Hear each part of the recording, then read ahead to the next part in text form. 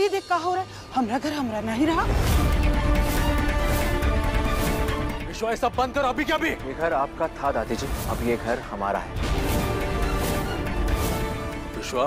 Fine नहीं बता देता तेज प्रताप सिंह तुम सबने मेरे बाप को पा डाला। मेरे बाप की चिता पे तेरे बाप ने ये महल खड़ा किया है अगस्त्या। उस महल का असली वारिस आ गया है।